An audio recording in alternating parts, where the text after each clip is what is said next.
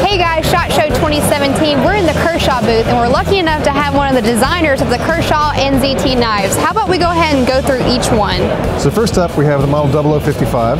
This has full titanium scales. We have a compound ground blade so you have a real high flat grind in the front here and you have a little lower thicker grind back here. So we have a titanium frame lock on the back, bent titanium pocket clip. We have a stainless steel lock bar insert in that titanium scale. But the big feature of this knife is the SLT flipper. You just pull it back and then it works just like a typical flipper.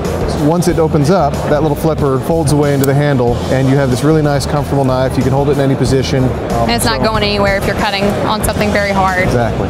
So this is the model 0850. So there is a blue weave into this carbon fiber that goes along with it. Gives it a real nice rich color. It has a cylindrical backspacer, which is again another really unusual feature for a pocket knife. We've also continued that kind of cylindrical theme in the design on the pivot and also on this large aluminum thumb stud here as well. Moving to the back side of the knife, we have a full carbon fiber back handle, which makes this knife really light. Let me feel.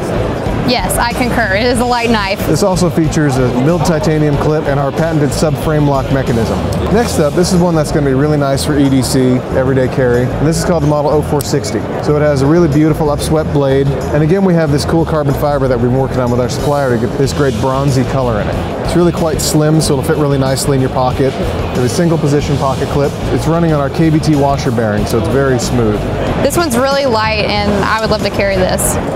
So this is our new Model 0920. You can see this is a full-size knife with a 3.9 inch blade. We have this cool polished pivot, titanium frame lock on the back, bent titanium clip, and we've anodized this one to have a really nice gold color to it. Pot clip is reversible. This also is running on our KVT washer bearing, so it makes it very smooth, opens with authority.